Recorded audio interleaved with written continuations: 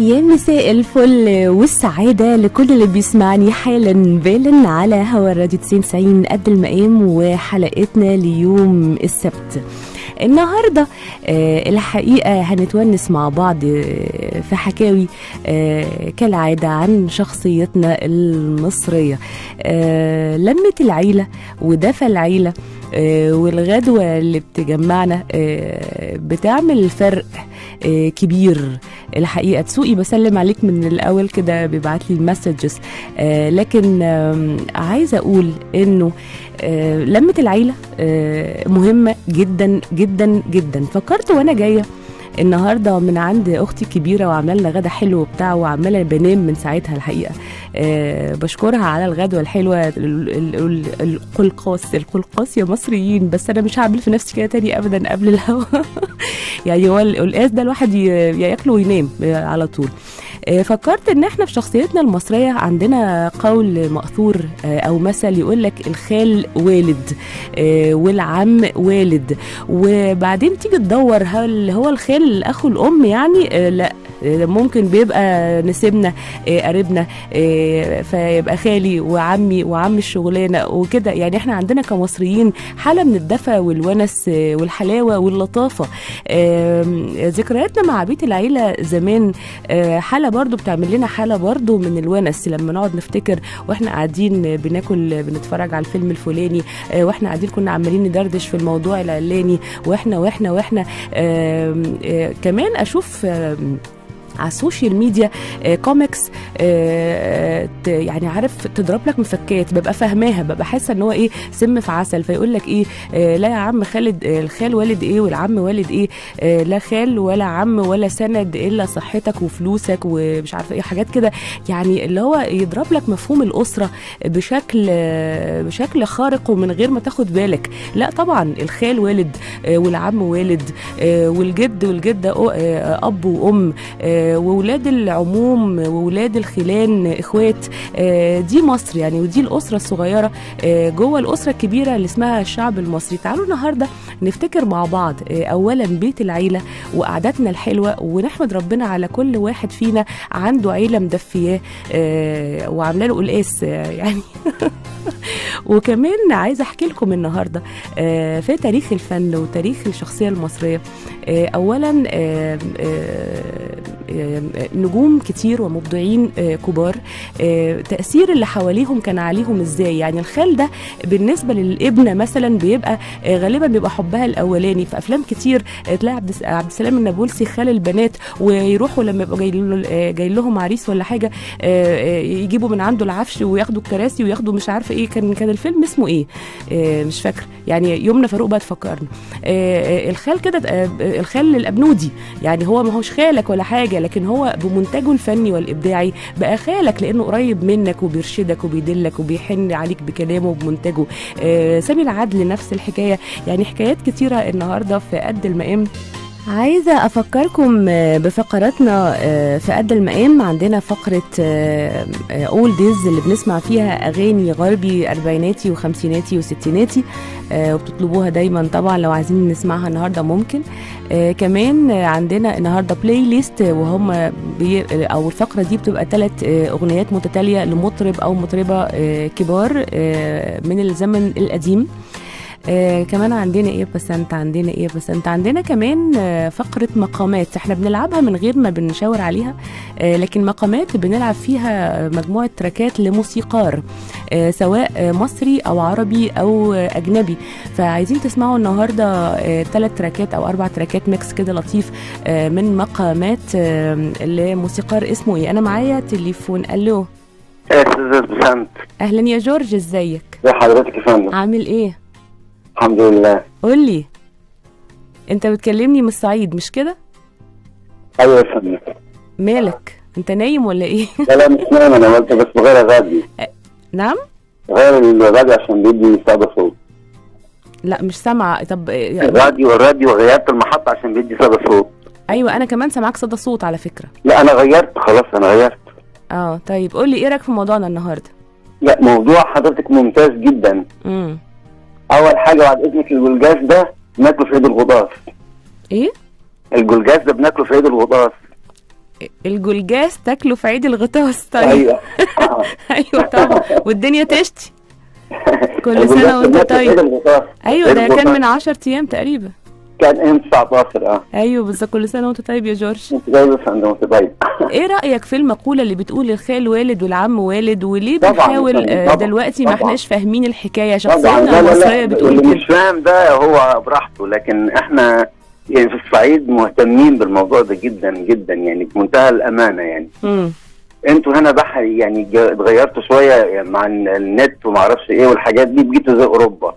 لكن إحنا في الصعيد ما زال لا لا هو. انت ليه مخليها إحنا وأنتم إحنا إحنا حاجة واحدة يعني كلنا أنا ما اقصدش أنا آه. آسف ما اقصدش أنا. قصدي يعني البحري غير الصعيد أقصد لا إحنا في. بحري طب ما أنا من المنصورة واللي عندنا الخال والد جدا وعلى فكرة مش لازم يبقى أخو الأم على فكرة خالص على فكرة لا انت بتقول كلام مش مظبوط يا جورج هو يمكن عند عندك في الصعيد بشكل أكبر ولسه لغاية النهارده ممكن يكون آه، عندنا في المنصورة بنقول أو مش في المنصورة في الدلتا بقى وفي بحري وفي. اسكندرية آه، لا عندنا ده لكن استخدام الإنترنت بقى سواء في الصعيد أو في ال- الدلتا آه، هو اللي ممكن يغير لك المفهوم ده لأنه بينزل كوميكس للولاد حتى الصغيرين يقول لك لا الخال لا والد ولا العم والد والسند هو إيدك وفلوسك والكلام ده يعني لا ابدا ده ده العيلة ليها هدفها معين العيلة ليها هدفها معين.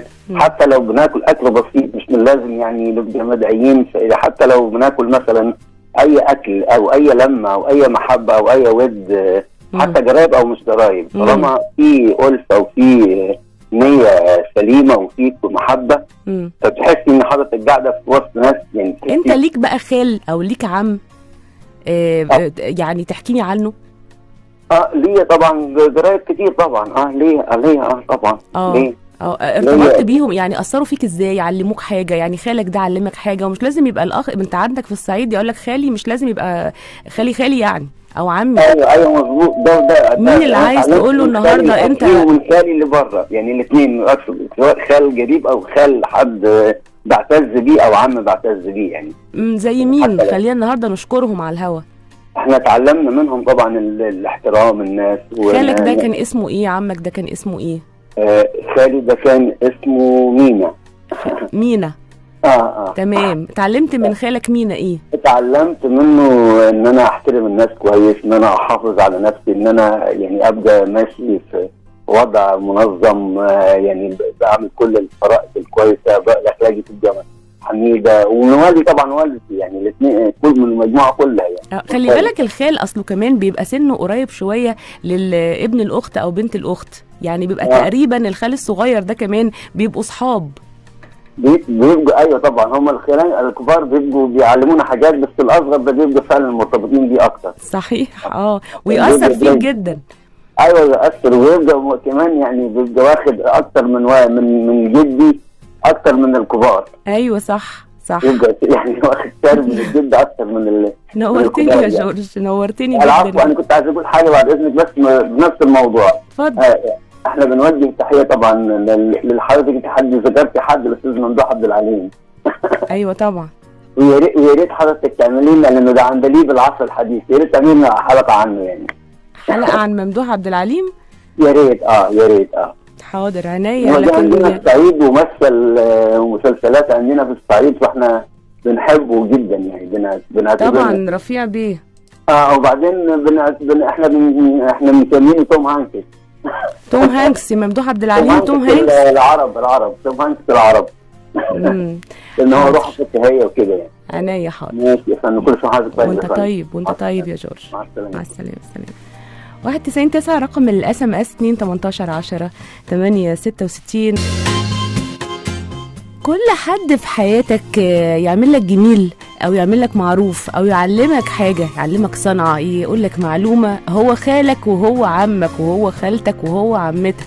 أيوه والله يعني آه، الحقيقة آه، لما تيجي مثلا آه، لصوت أم كلثوم وأم كلثوم أكتر من حد ساعد أم كلثوم. يعني غير طبعا والدها السيد إبراهيم البلتاجي طبعا مكتشفها الأول واللي تبناها. لكن لو جيت قلت لك مثلا عز الدين الدين يكن باشا. آه، هتقول إيه علاقة عز الدين يكن باشا بأم كلثوم؟ آه، لما راحت أم كلثوم عملت حفلة هناك وهي صغيرة آه، أقامت ليلة الإسراء والمعراج مش حفلة يعني كان اللي هو وقت الإنشاد الديني. في قصر عز الدين يكن باشا وسيدة القصر اهدت أهدت لها لأول مرة وهي طفلة صغيرة كده خاتم ذهب وخدت كمان 3 جنيه أم كلثوم. وكانت الليلة دي بالنسبة لأم كلثوم وهي طفلة يعني هي اللي خلتها قالت أنا هاخد القرار أو الانطلاق آه، انطلاق كوكب الشرق وبعد كده آه، آه، طريقها كمل فالليله دي والناس اللي قابلتهم في الليلة دي ما ده برضو عمي وده خالي على فكرة لأنه ده عمل معروف فيها وشجعها وشجعتها. سيدة قصر عز الدين يكن باشا. علاوة بقى على الشيخ أبو العلا محمد ومجموعة عمل أم كلثوم من أحمد رامي وناجي والسنباطي والاصابجي وكل من اشتغلت معاهم. ما هو أنت كمان فكرة الخال والعم عندنا في مصر؟ مش بس خالك وعمك لا ده اللي بيساعدك ده اللي بيعمل لك معروف ده اللي بي يقول لك لا اعمل الشغلانات دي كده اللي اللي يعلمك صنعتك آه، يعني كلنا يعني أنا كبسنت ليا عمي بتاع الشغلانة وعمتي بتاعت الشغلانة وخالي بتاع الشغلانة ونسلطن بقى شوية نسلطن شوية ولا إيه؟ من أخبار آه، قد المقام آه، شوف بقى يا عم يقول لك إيه؟ إنه أول آه، أيام معرض القاهرة الدولي للكتاب اللي كانت 25 يناير كان أول يوم آه، تخيلوا بقى نسخة المبيعات آه، اتباع كام كتاب؟ 17521 نسخة. ده في أول يوم بس. آه، 17521 اللي يقول لك المصريين ما بيقروش آه، يعني أنا مش عارفة إن الناس دي بتجيب الكلام ده منين. أنا معايا تليفون. ألو. ألو يا صباح الفل. صباح الفل يا أستاذ أحمد. عامل إيه؟ والله الواحد هيعيط منك ومن حلقاتك والله العظيم بصي الواحد يعني مش عارف يعني هيك يعني هقول لك إيه؟ يعني كفاية بس الخال عبد الرحمن الابنودي وهو وهو بيتكلم. كده طبعا الخال. إحنا عمالين نتكلم عن الخال والد. فلما تسمع الخال الأبنودي بيقول لك حراج الجط و- ويعني لازم هتبكي. طبعا. لا والله يعني يعني كل اللي أقدر أقوله يعني الله يرحمه وربنا يرحمه برحمته. الله كل أقدر إن أنا أقوله له والله العظيم. يعني كلماته واداؤه يعني الواحد يعني يحس يعني في مشاعر كده طالعة جواه من جواه. آه صحيح. قال لك الخال والد. آه الخال والد طبعا والعم برضه والد. آه والصاحب أخ. والصاحب أخ برضه ويمكن كمان بيبقى أكتر من الاخ طيب والجار. والجار طبعا. أمال الناس عمالة تقول لك لا أب ولا خال ولا عم ولا اي أي حاجة خالص.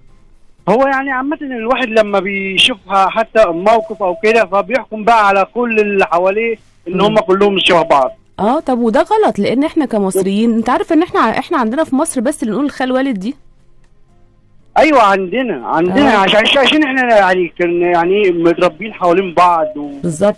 ومتربيين مع بعض في حارة واحدة وفي العيلة واحد العيلة المصرية العيلة طبعا وممكن خالك ده ما يبقاش خالك ما يبقاش أخوه يبقى النسيب قريب آه، يعني بص أحمد أبو عزة مثلا بيقول لك آه، أهو الوسطى سلامة وفي نفس الوقت خال مراتي وهو اللي معلمه الشغلانة أيوه وك... وكمان أنا معايا برضو في, في الصنعه يعني معايا أربع أخوات وأنا شغال في وسطيهم بيعاملوني عارفين أخوهم الصغير. امم يعني الميكانيكي وثلاثه نست... والثلاثه نستجين أنت بتشتغل يعني شا- فين يا عم أحمد؟ أنا شغال في النسيج. شفت أنا قلت لك عم أحمد لوحدي كده. وأنا والله يعني مش عارف أنا خلاص ما أنت خلاص ما أنت بتتصل بينا فخلاص مع الوقت بقيت عم أحمد. وأنتي برضو أستاذتنا برضو. العفو على دماغي إحنا أخوات. الله يخليكي وانتي قبل أي حاجة انتي أختنا يعني حتى من غير ما نشوفك ولا نعرفك بس انتي زي أختنا. القلوب مسلمة. طبعا إحنا بقالنا خمس سنين مع بعض على الهوا أهو. آه طبعا. أنا بسمعك كتير وكده بس ما كنت ما كنتش بعرف أوصل. معلش إحنا يعني ده سوء حظنا. إحنا نورتني جدا يا أستاذ أحمد. إيه والله أنت اللي منورة دايما يعني آه، ب- ويعني البرنامج بتاعك دي جميل جدا الصراحة. ربنا يخليك. أنا متشكرة ليك جدا ومش ويعني مبسوطة إن أنت مبسوط من البرنامج. لا والله العظيم ثلاثة بجد. يعني الواحد بيبقى تعبان ومهموم في الشغل. اما بيسمع البرنامج ما ما بحسش بالشغل. والله العظيم ثلاثة ما بحس بالشغل ولا بحس بتعب اليوم حتى. ربنا يخليك يا أستاذ أحمد. ربنا يخليك ويسعدك لا ربنا ما يخليك. تحرمش انت منك ابدا. وإحنا ما نتحرمش منك. اللهم آمين يا رب. اللهم آمين. ربنا يديم آه، المعروف. ربنا يسعدك يا رب كده دايما في كل أوقاتك. شكرا وأنت زي كمان. زي, زي ما بتسعدينا. جميعا يا رب. اللهم آمين. شكرا يا أستاذ أحمد. شكرا ليكي ويا ريت بقى تسمعينا حاجة بقى لعم صلاح جايين حاضر. هصل أسمعك. حاضر. مع إني أنا عملت ده امبارح على فكرة أو لأن هو شخصية المعرض بس حاضر أسمعك. عينيا. ماشي. اللي أنت شايفاه برضه. عينيا. ماشي مع السلامة. حاضر مع السلامة. مع السلامة مع السلامة. كلكم عايزين آه، نختم بعبد الحليم آه، ألو يا جمال. السلام عليكم. وعليكم السلام ورحمة الله وبركاته. إزيك؟ الله يخليك الحمد لله أنت عارف تمام. إن أنا عمري ما أخد مكالمة ابدا في آخر ثلاث دقائق في البرنامج دول بس أنت قلت لي يا بسنت الخيل رزق. رزق. فخطفت قلبي. الله يخليك آه والله قول لي يا جمال.